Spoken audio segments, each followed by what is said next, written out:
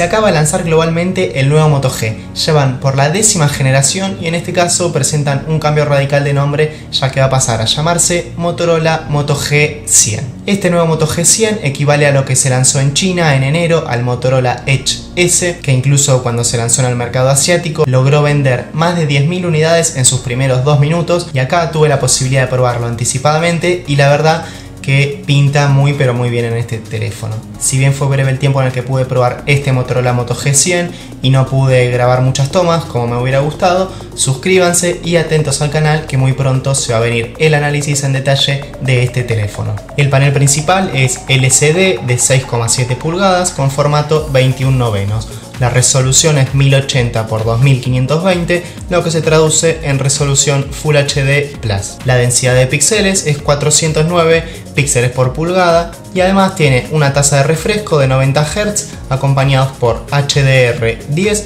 y 560 nits, lo que equivale a una pantalla bien luminosa con un brillo bastante alto y también con colores bien realistas y contrastes bien marcados. Atentos al siguiente apartado que es el rendimiento porque es uno de los puntos más fuertes de este teléfono. El procesador es el Snapdragon 870 de Qualcomm que corre a 3,2 GHz. Un procesador de gama alta que lo llevan muchos teléfonos de un rango de precio muy superior. En cuanto a estadísticas, este Snapdragon 870 a comparación del 865 es un 12% más potente en CPU y un 10% más potente en cuanto a la GPU. En cuanto a la memoria RAM tenemos 8 GB y 128 GB de almacenamiento interno.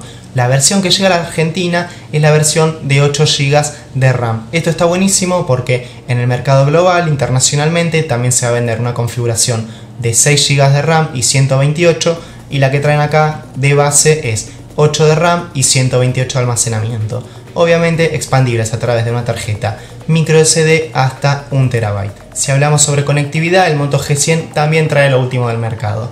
Es compatible con redes 5G y también incorpora Wi-Fi tipo 6. Este Wi-Fi 6 es un 30% superior en cuanto a ancho de banda al Wi-Fi 5 que es el que usamos todos naturalmente pero hay que tener un router compatible que hoy en día son muy pocos y muy costosos. Pero por lo menos con este teléfono ya lo tenemos preparado para cuando salga y sea más accesible. En cuanto a las cámaras tenemos un lindo pack. Tenemos el sensor principal de 64 megapíxeles, luego tenemos un ultra gran angular de 121 grados de 16 megapíxeles que a la vez también funciona como sensor macro de 2 megapíxeles. Y además tenemos un sensor TOF 3D para mejorar el modo retrato, también poder capturar objetos en realidad virtual, identificar mejor el entorno y esto se traduce desenfoques más naturales en las fotografías y si usamos aplicaciones de realidad aumentada va a reconocer mejor nuestro entorno ya que reconoce 3D lo que nos rodea. Otra incorporación del teléfono es que tenemos doble cámara frontal, doble cámara selfie, una principal de 16 megapíxeles y una secundaria ultra gran angular de 8 megapíxeles.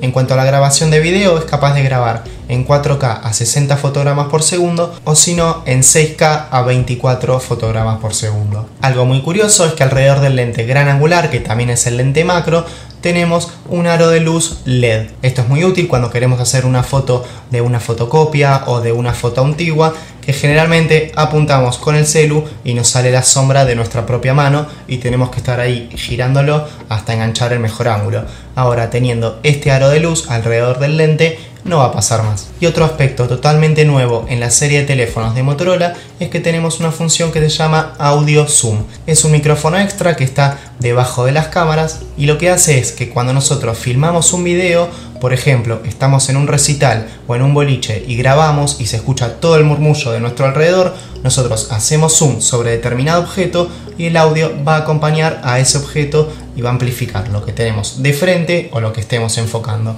con la pantalla y va a mutear o silenciar los micrófonos de los costados, entonces suprime el ruido ambiente y se va a escuchar con nitidez, por lo menos en la teoría, el objeto que nosotros queremos grabar y que se escuche. Después tenemos una batería de 5000 mAh trae un cargador en la caja incluido de 20 watts, podría ser un poco más, obviamente, podría ser de 30 para arriba, pero por lo menos lo incluye en la caja con estos 5000 mAh prometen llegar a los dos días de uso. También tenemos en su software Android puro, Android 11 con pequeñas modificaciones de Motorola y con esto que es lo que me lleva a decir que incluyen una nueva solución, como lo mencionaron ellos en el lanzamiento oficial, que es una nueva plataforma Ready for. Esta plataforma tiene cuatro modos. ¿En qué se traduce? Lo principal, para poder acceder a ella necesitamos un monitor o una tele con conexión HDMI. Por eso si compras este Motorola Moto G100 te va a venir incluido en la caja un cable que en una punta es micro USB tipo C para conectarla al teléfono y de la otra punta va a ser un HDMI tradicional para que puedas conectar el celu al monitor. Una vez que esto lo hacemos, podemos conectarlo, por ejemplo, a la computadora y usar el modo de escritorio.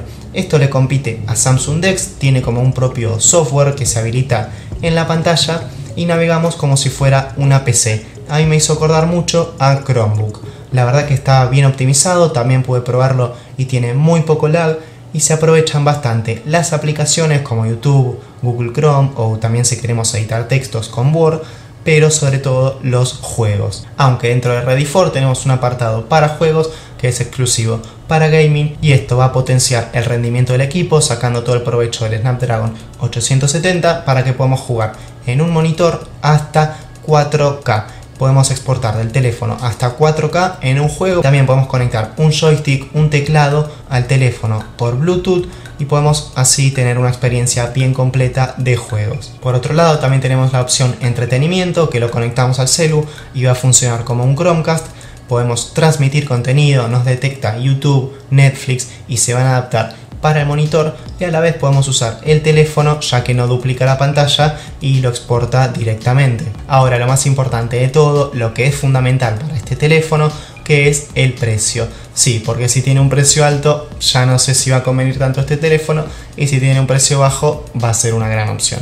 Sobre todo comparándolo con los nuevos Pocophone que salieron hace días. La versión que llega a Argentina que es de 8 GB de memoria RAM y 128 GB de almacenamiento interno va a estar a la venta por un valor de 79.999, es decir, 80.000 pesos es lo que se lo va a vender acá. En comparación, el Motorola Edge se está vendiendo a 75.000, o sea, el nuevo Moto G valdría 5.000 pesos más que el Motorola Edge que era lo tope de gama del año pasado. Abandona los Moto G de los años anteriores que traían características muy de gama media, muy equitativas y no eran rompedoras, sino que ahora este Moto G trae lo más potente del mercado y a un precio competitivo, así que es una opción a considerar. Sobre todo en mercados de Latinoamérica, donde no es tan fácil acceder a teléfonos Xiaomi, de Pocophone o por Realme y marcas que tienen teléfonos muy buenos por calidad-precio. Si hacemos la conversión de precios de lo que se está vendiendo hoy en China al mercado europeo, esto quiere decir que la versión de 6 GB de RAM y 128 de almacenamiento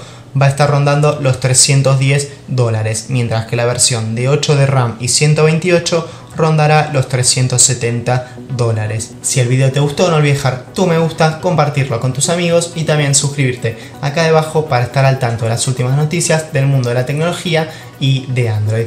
Gracias por ver, nos vemos la próxima, chau chau.